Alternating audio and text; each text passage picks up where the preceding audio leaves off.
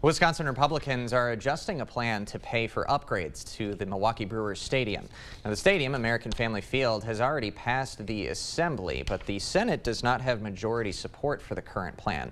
So one new change they're considering is a ticket tax on non-Brewers events like concerts and monster truck rallies. And that could offset the $400 million that are proposed to come out of state funding.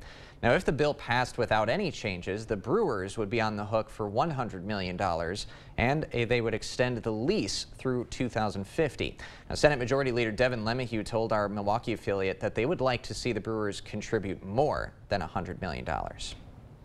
Meantime, over